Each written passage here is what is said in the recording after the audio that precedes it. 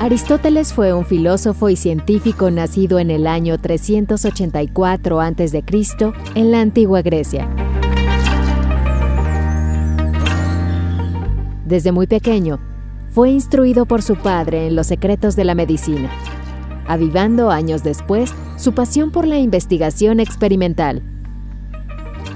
Una disciplina en la que Aristóteles se mantiene a la cabeza, pues es considerado por muchos como el primer investigador científico de la historia.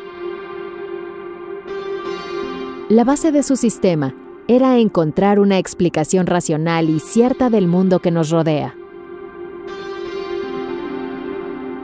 También es considerado, junto a Platón, el padre de la filosofía occidental.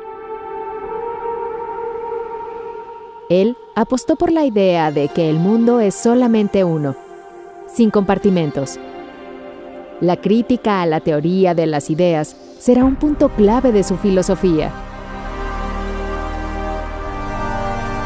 Consideraba que la piedra angular del conocimiento es la experiencia y la información que nos llega por los sentidos.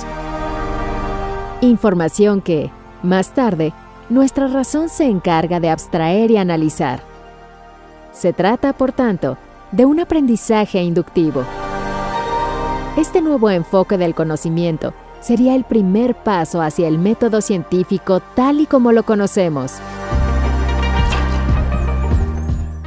Educar para transformar.